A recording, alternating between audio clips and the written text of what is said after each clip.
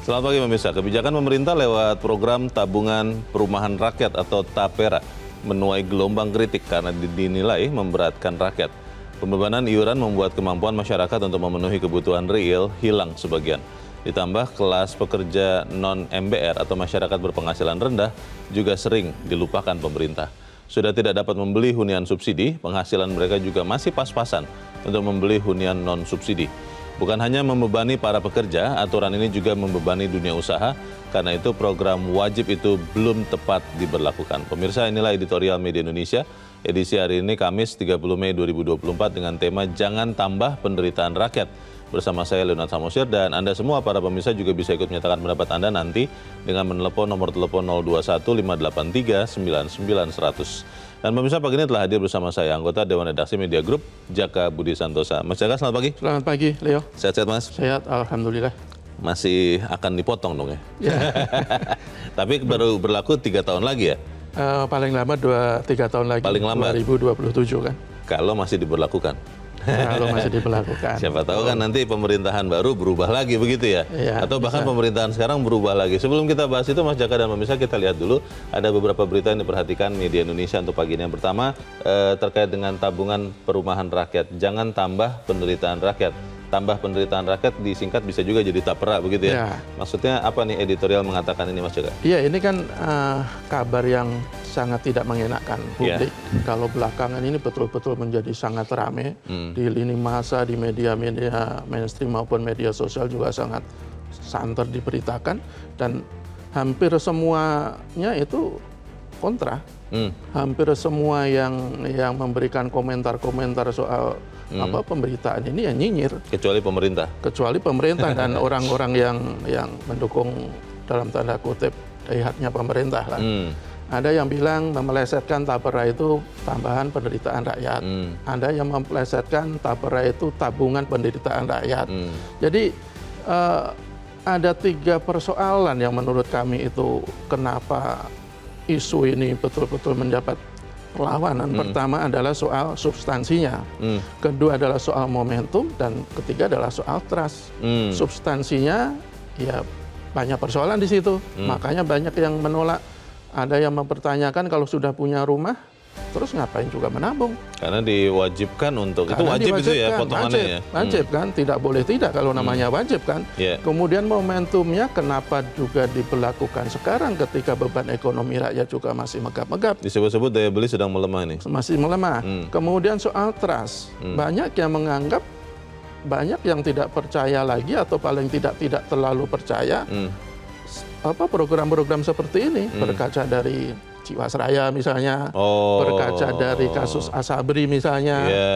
Dan belakangan juga ada Taspen kan. Iya, kasus-kasus besar tuh ya. Kasus-kasus besar yang tadinya apa, para nasabah itu berharap ketika hari tua mendapatkan keuntungan, Iya. faktanya kan malah amsyong. Iya. Apalagi kemarin yang Bumi Putra itu kan, Mm, sampai sekarang masih banyak sekali yang tidak Iya. mendapatkan haknya, padahal mereka menabung bulan demi bulan dengan Betul. menyisihkan penghasilan untuk untuk berharap Iya. di hari tuanya paling tidak bisa terbantu, Baik. tapi kan malah semakin tidak karu-karuan. Tapi sebetulnya kan Mas Jaka kalau kita lihat di sisi yang lain eh, niatannya kan bagus, Bagus. Untuk rakyat bisa Iya. punya rumah. Masalahnya berarti hanya di mencapainya itu Betul. dan mungkin komunikasinya juga. Komunikasi iya, cuman yang paling paling bermasalah menurut saya adalah substansinya. Oke. Ketika substansinya tidak terlalu jadi persoalan, Ya. kemudian apa komunikasinya juga agak bermasalah, mungkin tidak akan mendapatkan perlawanan Baik. semasif ini. Kita akan bahas itu ya Mas Jaka dan pemirsa inilah editorial Media Indonesia untuk hari ini, Kamis 30 Mei 2024. Jangan tambah penderitaan rakyat.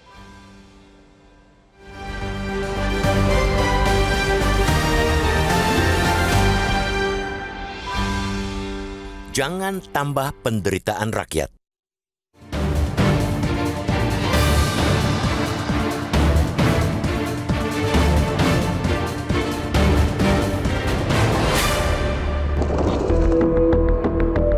Kebijakan pemerintah untuk menarik iuran wajib kepada semua pekerja lewat program tabungan perumahan rakyat atau TAPERA menuai gelombang kritik publik.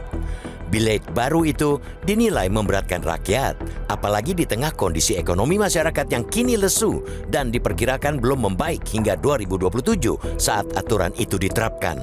Heh. Kebijakan ini seakan menempatkan rakyat dalam kepungan biaya hidup yang makin mahal. Harga kebutuhan pokok yang kian tinggi, biaya pendidikan mahal, pemotongan gaji pekerja sebesar 3% untuk tapera, dan ditambah wacana penaikan PPN menjadi 12% di 2025 dapat membuat kehidupan rakyat kian terimpit. Iuran wajib tapera tertuang dalam peraturan pemerintah atau PP nomor 21 tahun 2024 tentang perubahan atas PP nomor 25 tahun 2020 tentang penyelenggaraan tapera. Aturan terbaru itu diberlakukan setelah ditandatangani Presiden Joko Widodo pada 20 Mei 2024 besaran total iuran yang wajib distorkan ialah sebesar 3% dengan porsi 2,5% dari pekerja dan 0,5% dari pemberi kerja. Pada PP Tapera yang diteken Joko Widodo, gaji pekerja bakal dipotong 3% untuk simpanan Tapera mulai Mei 2027. Aturan Tapera terbaru merevisi bahwa peserta iuran wajib Tapera kini bukan hanya PNS atau ASN dan TNI Polri serta BUMN, melainkan juga karyawan swasta dan pekerja lain yang menerima gaji atau upah. Aturan ini jelas tidak hanya akan membebani para pekerja, tapi juga dunia usaha. Karena itu, program wajib tersebut belum tepat diberlakukan, apalagi dipaksakan. Dunia usaha dirugikan, lebih-lebih para buruh akan kian berat untuk mendapatkan napas yang longgar. Pembebanan iuran akan membuat kemampuan masyarakat untuk memenuhi kebutuhan real hilang sebagian. Selain itu, masyarakat tidak tahu manfaat apa yang akan didapat dalam jangka pendek bila penghasilan dipotong sebesar 3% untuk iuran tapera. Berbeda dengan iuran BPJS Kesehatan yang manfaatnya real didapatkan jika peserta sakit. Iuran tapera hampir sama dengan iuran BPJS, ketenaga kerjaan atau jam sostek yang benefitnya didapatkan pekerja setelah pensiun atau berhenti. Namun, kontribusi pemberi kerja dalam BPJS ketenaga kerjaan lebih besar ketimbang iuran tapera. Tapera malah mirip tabungan sosial. Pemerintah melalui Badan Pengelola Tapera menghimpun dana dari seluruh pekerja di Indonesia untuk dipakai sebagai pembiayaan bagi pekerja berkategori masyarakat berpenghasilan rendah atau MBR agar mendapatkan fasilitas kredit perumahan terjangkau tanpa uang muka dan dengan bunga 5%.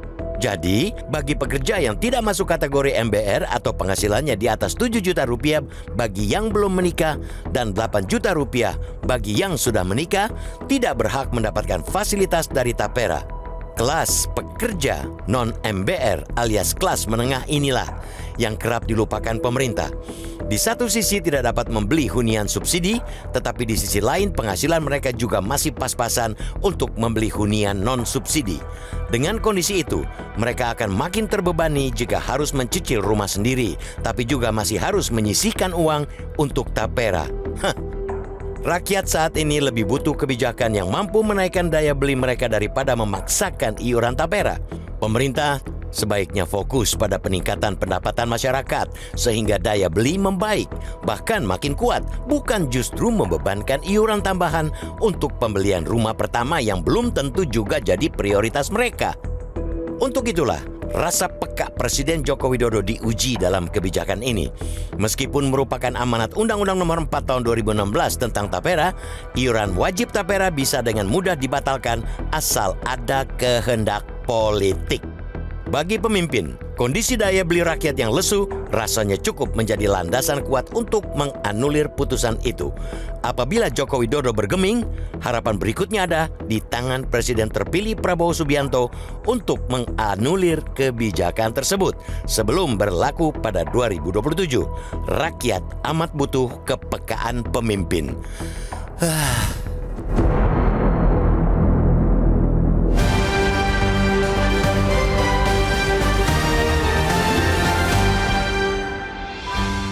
Anda bisa ikut menyatakan pendapat Anda di bagian berikut selepas jeda pemirsa. Untuk saat ini tetaplah bersama kami.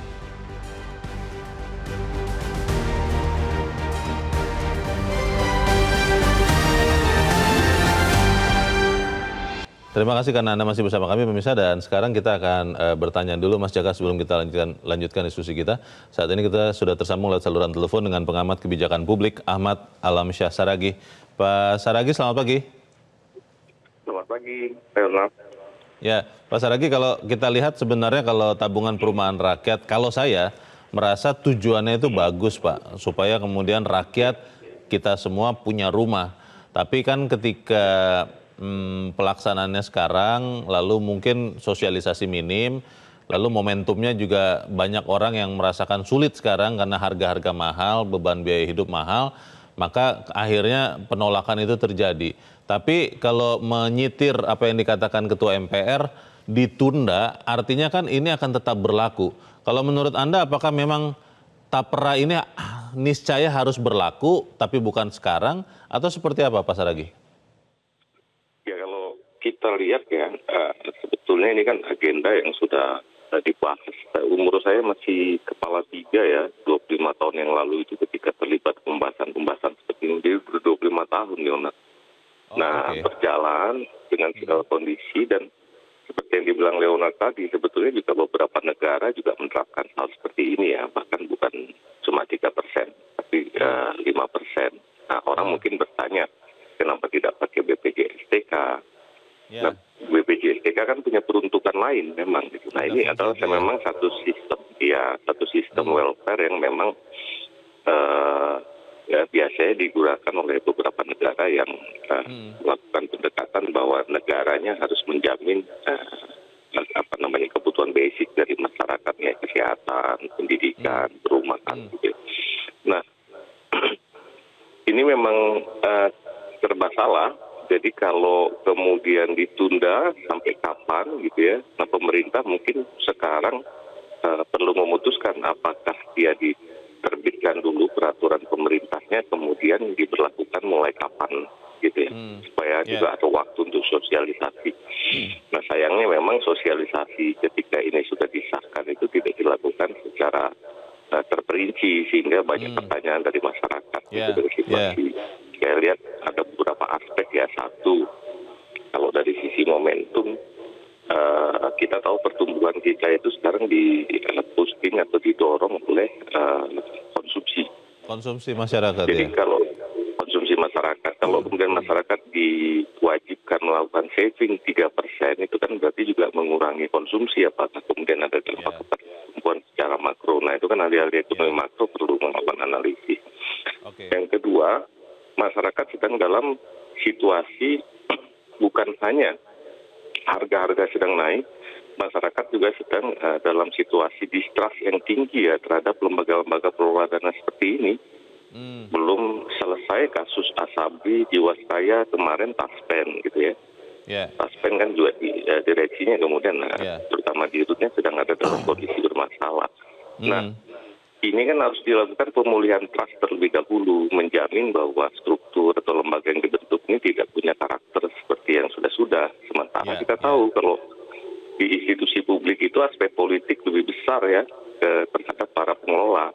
Okay. Apakah di situ ada representasi pekerja di dalam institusinya saya nggak tahu juga. Bisa hmm. macam apa ke depan. Kalau tidak yeah. kan kontrolnya jadi lebih buruk. Kalau BPJS-TK okay. kan ada representasi pekerja ada. Gitu. Itu Pak Saragi, yang... kalau kalau ya. ada yang meng mengatakan ini sebenarnya, uh, ini saya mengutip lagi tadi pernyataan uh, Presiden yang mengatakan bahwa ini seperti waktu dulu BPJS Kesehatan, banyak orang menolak segala macam, tapi kemudian berjalannya waktu akhirnya menerima karena merasakan manfaat. Ada teman saya mengatakan begini Pak Saragi, bahwa kalau dulu pemerintah dalam tanda petik memaksa rakyat untuk ikut arisan kesehatan dengan BPJS Kesehatan, maka sekarang ada arisan perumahan yang dipaksakan oleh pemerintah untuk rakyat ikut supaya eh, uang-uang uh, dari kelompok yang lebih kuat bisa menyubsidi uh, kelompok yang lebih lemah. Anda setuju atau tidak Pak Saragi? Ya kalau kesehatan itu bahkan tidak dikembalikan ya. Ya. Jadi kalau kita sudah mengiur, itu kan namanya memang subsidi ya, tanggung renteng lah rencananya uh, dulu untuk ya? BPJS Kesehatan. Iya, boleh disebut arisan. Kalau arisan hmm. itu kan hmm. kita dapat giliran. Kalau sakit saya siapa yang mau dapat giliran sakit? Iya, iya, iya, hmm. Nah, hmm. jadi kayak tanggung renteng. Kalau ini pun kalau mau digunakan cara pandang begitu nggak pas juga. Kalau saya sudah punya rumah, saya kan kena kewajiban menabung juga, tapi kan harus dijelaskan benefit saya apa setelah sekian tahun saya menabung gitu ya. Supaya nanti di akhir apakah uang itu bisa kembali dalam besaran yang maksimum atau ada manfaat lain. Karena kalau dari besaran ya, itu itu menurut saya nggak nggak masuk akal juga dengan uang yang dipotong untuk saving itu kemudian orang mengambil rumah itu nanti paling kredit-kredit yang bisa mereka ambil itu 200 untuk orang punya income 10 juta itu 200 sampai 260 juta. Itu rumah macam Nggak ketemu apa? ya rumahnya ya. nggak ketemu. Kalau dia ada di luar Jawa mungkin masih bisa dapat ya nah Hmm. kalau di urban apalagi di Jakarta itu tanah sudah mahal nanti pemerintah punya alasan klasik lagi tanah Baik. mahal dan lain sebagainya Baik. itu Kalau- yang kemudian akan jadi Iya. masalah Kalau saran Anda Pak Saragi ini akan eh, sebaiknya ditunda dulu atau tetap saja lanjut atau eh, mungkin harus dibatalkan sama sekali supaya nanti ketahuan dulu bentuknya seperti apa masyarakat percaya baru diberlakukan. Kalau menurut saya ini tetap ada, tapi masa pemberlakuannya dibikin lebih jelas, mau 2027, 2028, terserah ya. Tapi kemudian setiap tahun pemerintah mau melakukan apa harus clear, karena ini butuh ekosistem loh. Dan Hmm. ekosistem itu salah satu begini, kalau di negara-negara yang menerapkan ini mungkin mereka sudah punya land banking, sehingga kalau mereka bangun di perkotaan, katakanlah rumah Ya. susun ya, untuk yang seperti Ya. Jakarta itu orang cuma uh, punya kena biaya untuk rumah susun ya, sehingga kemudian orang-orang muda itu bisa dapat. Kalau di kawasan industri dia sudah punya tanah yang dekat dengan pabrik, orang bisa nanti Ya. dapat rumah yang dekat dengan pabrik. Nah itu kan butuh waktu. Jadi Oke. pemerintah akan menyatakan diberlakukan misalnya 2027, 2025 apa, 2026 apa, 2027 apa. Dan kemudian hak masyarakat persisnya apa itu yang harus dijelaskan. Hmm, dan itu sambil tentunya harus meningkatkan atau mengembalikan trust atau kepercayaan masyarakat kepada lembaga-lembaga seperti ini ya. Betul. Dan yang Ya, namanya percaya kan gitu sih. kalau sudah tercederai biasanya sulit untuk kembali ya. kalau begitu kita Sulit, tunggu saja. Ya, baik terima kasih eh, pengamat Ya, kebijakan publik Ahmad Alamsyah Saragi sudah mencerahkan kami. Selamat pagi Pak Saragi. Mas Jaka kalau usulannya tadi seperti kata Pak Saragi, memang kan ini eh, PP yang terakhir ini kan baru berlaku 2027 ya? Ya, Betul kan ya? paling lambat 2027. Oh paling lambat. Ya, Jadi karena- sudah berlaku ya, sekarang. ya. Kalau yang Kalau sudah mampu sebelumnya kan sudah ada ASN segala udah kan Oh oke, itu kan. tapi ini diperluas untuk untuk iya untuk swasta, pekerja swasta segala Oke. macam. Itu kan paling lambat 2027. Nah ini tetap diberlakukan saja atau memang tadi kata Pak Saragi ditunda dulu, diperjelas dulu penggunaannya, bagaimana Mas? Ya kalau editorial sih kami ber, ber- bersikap ya dibatalkan, dianulir. Hmm. Karena tadi pertama adalah substansinya itu syarat dengan persoalan, Hmm. kemudian juga momentumnya juga tidak tepat, dan kemudian yang ketiga soal distrust tadi. Hmm. Kalau kita lihat dari beban hidup rakyat misalnya, atau para pekerja misalnya, Hmm. itu kan sekarang itu dia sudah di, di- sudah dipotong untuk BPJS kesehatan Ya, sudah dipotong untuk BPJS ketenaga kerjaan. Kemudian tahun depan katanya PPN mau naik jadi 12 persen. dari 11 persen Dari sekarang 11 ya. persen menjadi 12 persen. Bukan katanya memang sudah putus Mas? Iya, oh, konsekuensinya kan semua 1 harga, harga kebutuhan, harga barang-barang itu akan naik. Iya. Sementara kalau kita lihat dari apa kenaikan upah itu kan terlalu timpang. Kalau kita lihat kemarin ada ada Kalau yang naik ya upahnya ada- ya? kalau yang naik, kalau yang banyak juga yang tidak naik. Banyak yang sudah sampai 3 tahun, 5 tahun itu tidak naik Karena- gajinya sama karena sekali. katanya perusahaannya tidak tidak punya kondi, eh, tidak dalam kondisi yang bagus. Hmm. Ada sebuah simulasi yang cukup menarik menurut saya. Kalau kalau UMP kemarin di DKI Jakarta itu kan naiknya 3,28 persen. Ya. Nanti kalau itu jadi di- diterapkan berarti dipotong lagi dua setengah persen. Jadi berkurang ya? Jadi naiknya cuma berapa? Kalau dihitung itu kan naiknya cuma sekitar 38 ribu Rupiah rupiah per bulan. per bulan. Dengan Di kalau Jakarta? di Jakarta kalau ini di, jadi diberlakukan ya. 38 ribu dapat apa? Iya makanya. Jadi jadi eh, kita kita kita bayangkan lah bagaimana mereka yang yang hidupnya atau penghasilannya pas-pasan, Iya. kemudian juga harus dipotong lagi dua setengah persen. Apalagi mereka yang sudah punya rumah, Hmm. apalagi yang sedang mencicil rumah dengan KPR bunga KPR yang belakangan juga Iya. terus menaik kan. Betul, betul. Eh, mereka punya rumah, ya buat apa lagi berharap bisa mendapatkan rumah dengan tapera ini, Hmm. dengan jangka waktu yang begitu lama, Iya. Benefitnya pun kalau dihitung-hitung tadi Pak Ahmad juga tidak tidak tidak bakal mencukupi itu membeli rumah. Iya. Kalau dihitung-hitung kemarin dari SPSI kalau tidak salah. Kalau kita rata-ratakan gaji buruh itu 3,5 juta. Kemudian di Ini di Jabodetabek. Ya rata-rata, rata-rata seluruh Indonesia. Oh, kalau seluruh kita Indonesia. ratakan beda-beda itu kan. 3,5 juta. Ya, itu kalau dipotong tiga, kalau nabung tiga persen itu kan satu bulan itu kan 105 ribu Mm-mm. Per bulan, per tahun 120 se- sat- eh, 126 ribu. Kemudian kalau kita hitung-hitung 10 sampai 20 tahun apa pemberlakuan tapera ini, dia akan mendapatkan sekitar 25 juta. 20 tahun lagi 25 juta bisa dapat apa? Dapat eh, mak- market rumah. Nah, ini kan persoalan-persoalan ini. dua kali dua meter. Betul, persoalan-persoalan ini yang harus betul-betul dijelaskan oleh pemerintah. Tapi sebenarnya kan prinsip prinsip apa rumah itu kan sebenarnya kewajiban negara. Dalam Undang-Undang Dasar 45 itu Iya. memang memang diatur Iya. setiap eh, orang, setiap warga negara ber- berdapat mm, apa berhak untuk mendapatkan tempat tinggal yang layak. Iya. Dan itu kewajiban negara, kewajiban pemerintah, bukan kewajiban warga negara secara keseluruhan untuk memenuhi hal Iya. itu. Iya. Jadi apa ya apa prinsipnya dulu dibenahi, Hmm. kemudian ada dimodifikasi dengan peraturan-peraturan yang baru yang tidak memberatkan Iya. rakyat. Iya. Peraturan pemerintah itu kan prinsipnya harus menolong rakyat, meringankan beban rakyat, bukan malah memberikan beban tambahan kepada rakyat. Hmm. Iya. Jadi saya pikir tidak hanya apa ditunda atau di anulir sementara Hmm. kalau editorial berprinsip dibatalkan. Peraturan pemerintahnya ya. Betul. Jadi jadi bikin peraturan baru yang betul-betul tidak membebankan rakyat. Masalahnya kan peraturan pemerintah itu diadakan karena kalau tidak salah itu sudah mendekati tenggat waktu Iya. turunan dari undang-undangnya, Mas. Ya inilah inilah kesalahan kesalahan pemerintah yang beberapa kali terulang kan. Hmm. Saya yakin dan itu juga diiyakan oleh para pihak yang terkait Hmm. untuk menyusun PP ini itu pihak-pihak terkait kan tidak dilibatkan. Oh. Tidak diberikan masukan. Malah ada juga yang sudah memberikan masukan tetapi katanya tidak ada yang Tidak masuk. ti- tidak masuk. Tidak diakomodir tidak di, di- diterima terima oleh Oh, pemerintah. begitu. Jadi eh, ya prinsipnya ketika sebuah peraturan itu justru membebankan rakyat, Hmm. memberikan apa hidup masyarakat akan semakin berat ya pasti akan mendapatkan resistensi. Ya. Dan kalau kita lihat kan sekarang kan semakin liar ini tanggapan-tanggapan dari masyarakat. Iya. Katanya ini adalah upaya pemerintah untuk Mengumpulkan uang, untuk tujuan yang lain. Untuk tujuan lain. Yang mendesak. Ya.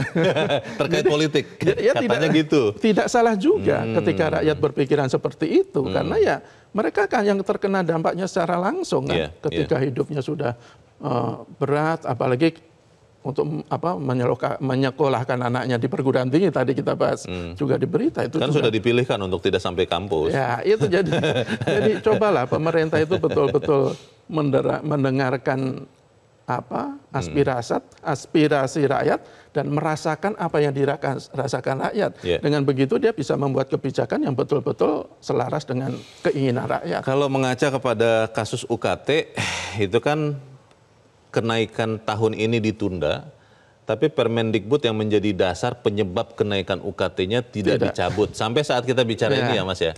Kalau kemudian nanti dalam kasus Tapera, itu yang diberlakukan bahwa belum eh, belum berlaku sekarang, tapi PP-nya tidak dicabut. Ini adalah eh, hadiah dalam tanda petik untuk pemerintahan berikutnya misalnya. ya. Itu apa kabarnya? Tapi kita harus jeda dahulu dan pemirsa tetaplah bersama kami.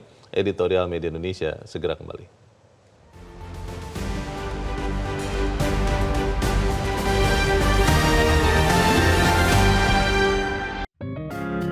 Media Indonesia mengajak Anda untuk mengakses fitur premium e-paper. Dengan sajian konten berbasis intelektual dan meneguhkan kebangsaan, Media Indonesia tampil dengan lebih dinamis melalui e-paper Media Indonesia yang dapat Anda akses kapan saja, di mana saja. Caranya mudah, download aplikasi Media Indonesia di Android atau ketik link e-paper.mediaindonesia.com atau bisa scan QR code pada layar kaca Anda. Klik tab e-paper di bagian samping layar tablet Anda, daftarkan data diri, serta pilih paket perlangganan e-paper Media Indonesia sesuai dengan kebutuhan Anda. Nikmati juga bonus spesial tambahan 4 halaman rubrik fokus setiap hari. Semua bisa Anda dapatkan hanya di e-paper Media Indonesia. Untuk informasi lebih lanjut, hubungi customer service di nomor 0811 1201 2018 atau kunjungi media sosial at Media Indonesia. Media Indonesia, referensi bangsa. Terima kasih karena Anda masih bersama kami pemirsa dan sekarang kita akan mendengarkan juga ya Mas Jaka sebelum kita lanjutkan diskusi kita pendapat dari pemirsa Metro TV. Kita sudah terhubung dengan pemirsa Metro TV di Bojonegoro, Jawa Timur. Ada Pak Soekarno. Pak Soekarno selamat pagi. Pak Soekarno selamat pagi. Selamat pagi. Selamat pagi Pak Soekarno. Silakan Pak pendapat Anda Pak bagaimana nih uh, Tapera? Anda anda siap untuk ya, ya, ya. mengiur juga atau seperti apa? Silakan Pak. Ya, ya, ya. Ini begini Pak ya, tapera ini. Ya, ya. Ini lebih baiknya banyak aspek yang harus dipertimbangkan. Ya, ya Pak. Halo, banyak aspek yang dipertimbangkan. Ya, karena ya. ini masalahnya ini masalahnya. Uh, ini mohon ada... maaf Pak, volume televisinya dikecilkan saja oh, iya, supaya iya, iya. tidak bergulung suara Bapak Pak. Dan lanjutkan langsung dengan pendapat Anda Pak. Iya, iya. Silakan Pak. Halo, halo, halo. Halo. Ya. Ya, ya. ya. Ini Pak, ini masalah tapera Pak. Ini ya. uh, banyak aspek yang harus dipertimbangkan. Hmm.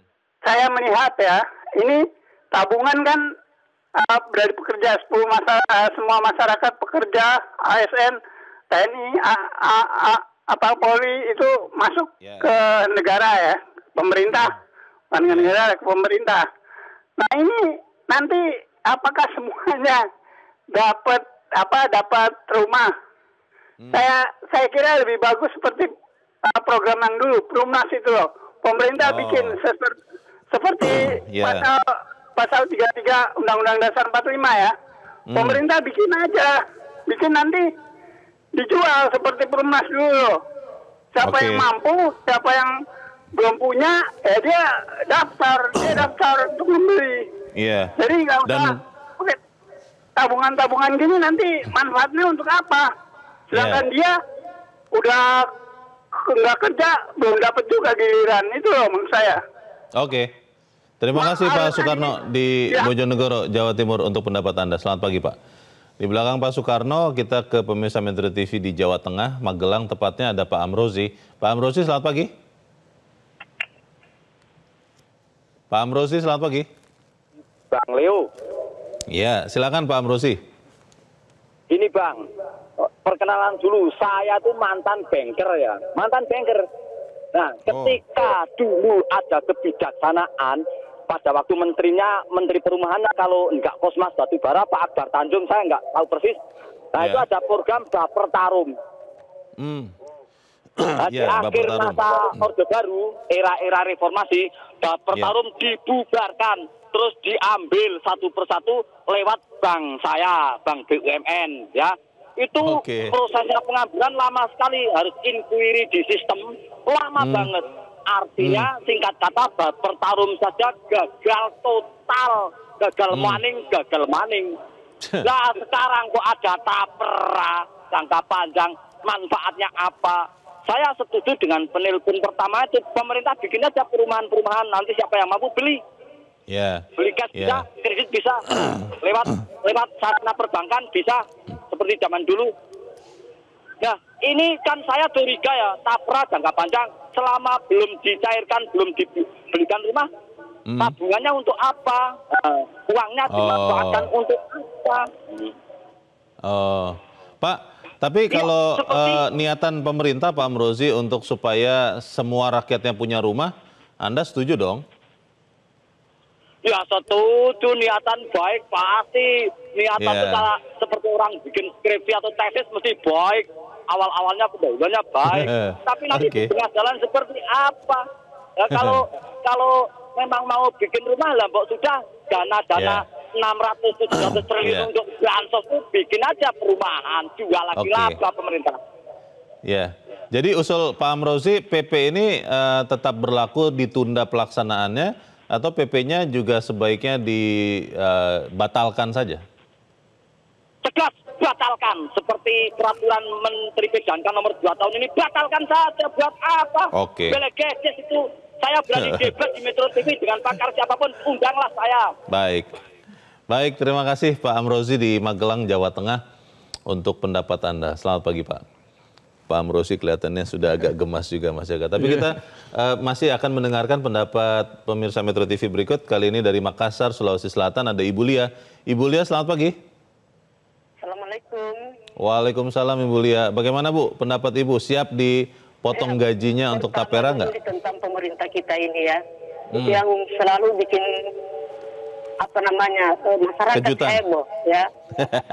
Pertama belum selesai masalah tentang biaya kuliah ya tentang perguruan tinggi. Ya. Sekarang ada lagi tapera ya. Yang seperti tadi katakan penelpon bahwa betul ya dulu itu ada istilahnya kan batal tarung.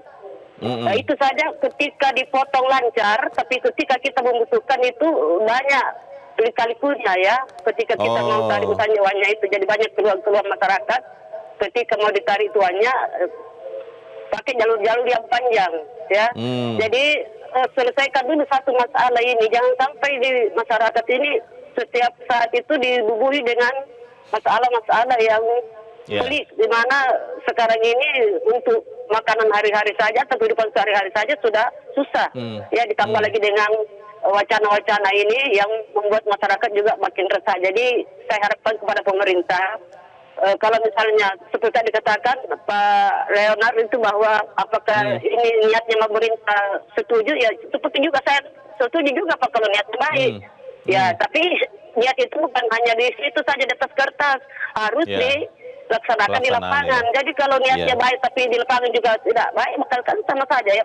Iya. Jadi kita harapkan niat baik itu harus ditindaklanjuti dengan apa yang terjadi di lapangan sehingga Baik. masyarakat betul-betul percaya kepada pemerintah bahwa Oke. pemerintah itu betul-betul ingin mensejahterakan masyarakatnya. Iya. Terima kasih. Assalamualaikum. Waalaikumsalam. Terima kasih Ibu Lia di Makassar, Sulawesi Selatan. Selamat pagi. Di belakang Ibu Lia masih ada pemirsa Metro TV kali ini dari Bekasi, Jawa Barat. Ada Pak Ondo Silitonga. Pak Ondo, selamat pagi. Selamat pagi Bung Leo, selamat pagi Bung Jaka. Selamat pagi Pak Ondo. Silakan Pak pendapat Anda Pak. Siap dipotong tapera Pak Ondo? Tapera itu bukan tambah penderitaan rakyat ya, tapi tabungan perumahan rakyat. Itu dalam undang-undang pemerintah itu harusnya membantu rakyat. Kalau begini nih sepertinya pegawai bantu pegawai ya dengan tapera ini. Jadi uang yang dikumpul-kumpulkan oleh pegawai ya untuk pegawai. Jadi pemerintah cuma 0,5 persen dari 3 persen kalau saya nggak salah. Saya bertanyanya ini, ke mana dana tersebut disimpan sebelum dibangun rumah untuk pegawai? Siapa Ya. yang mengolah? Siapa yang memanajeri? Karena nanti diinvestasikan amblas seperti Tapen, Bumi Putra, dan lain-lain. Di sini ada unsur-unsur kita khawatir dikorupsi. Itu wajib nggak? Kalau memang ini untuk niatnya untuk pegawai, jangan diwajibkan. Biar pegawai yang milih dia mau ikut atau tidak. Karena Iya. kalau ikut, ini nanti susah. Kalau umur 40 atau 50 tahun dipaksa ikut, padahal lima tahun lagi dia pensiun dan dia tidak bisa lagi bayar cicilan, itu ke mana? Nggak bisa nabung Masalah lagi, lagi. nariknya susah. Iya masalah lagi, belum nanti kalau ditarik nggak ada bunganya. Ya meski cuma seperti itu niat baiknya, tapi ingat dulu saya peserta bubble tarum, gagal total tuh nariknya susah banget. Kemudian Oh. kenapa tidak buat rumah saja biar um, pegawai-pegawai us- berpenghasilan rendah bisa memilih mau beli perumnas Iya. itu apa tidak. Jadi Iya. tidak usah harus ada wajib. Kalau mau bikin bikin aja, tapi jangan wajib, gitu loh. Oke. Jadi terima Oke. kasih. Terima kasih Pak Ondo Silitonga di Bekasi, Jawa Barat untuk pendapat Anda. Selamat pagi Pak. Wah ramai ini Mas Eka. Empat, eh, tiga pemirsa dari tiga provinsi di Jawa, lalu satu dari Sulawesi. Eh, tidak ada satupun yang setuju nih. Padahal saya setuju loh sebenarnya dengan tapera ini, tapi caranya mungkin ya. Tapi kita harus jeda dahulu Mas Eka. Dan pemirsa tetap bersama kami, Editorial Media Indonesia segera kembali.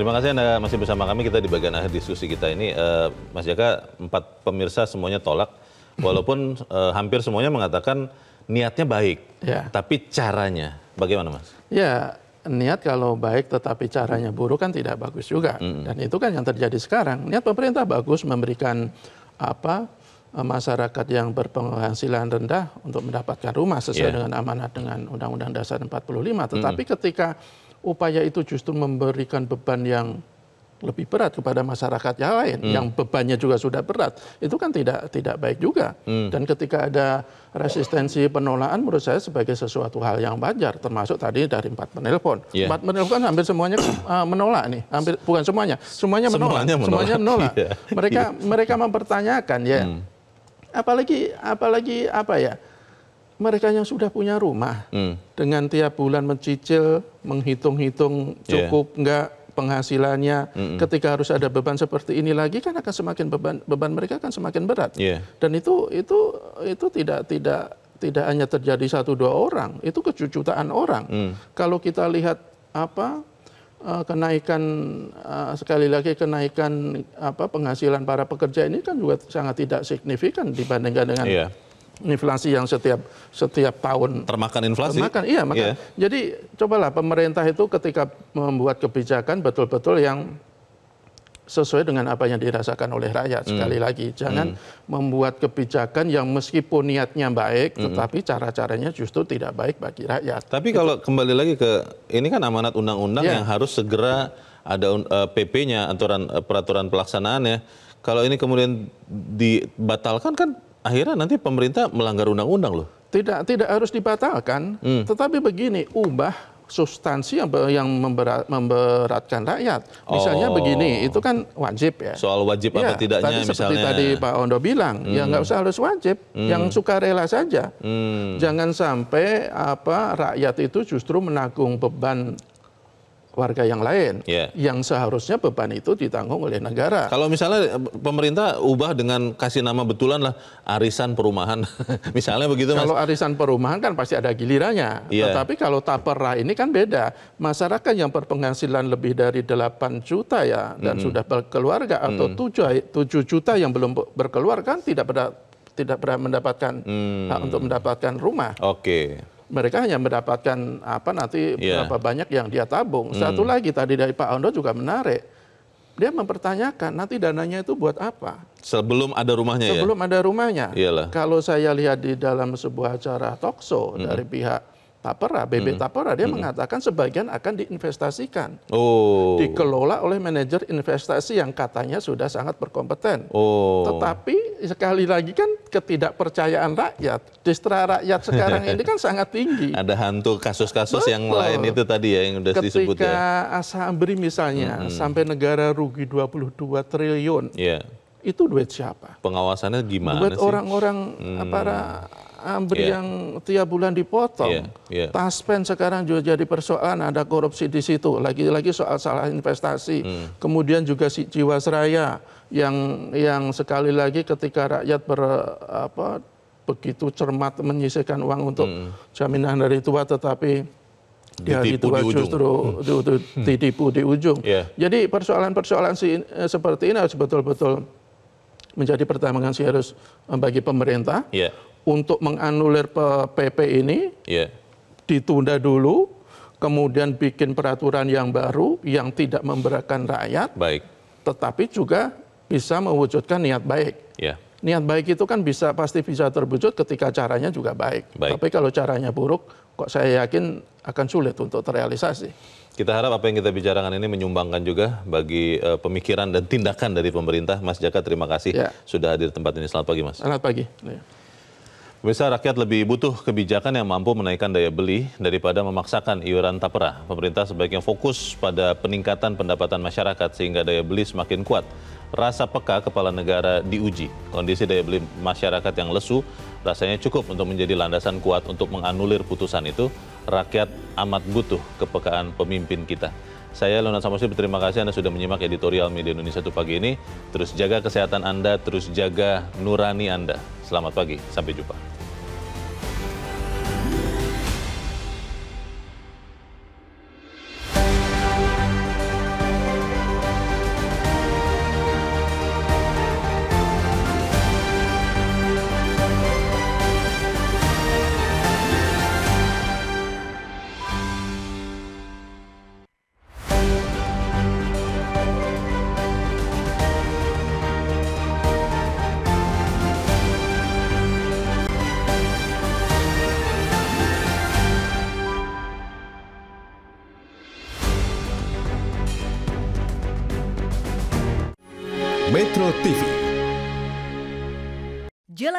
Cara baru mendapatkan informasi. Download Metro TV Extend sekarang.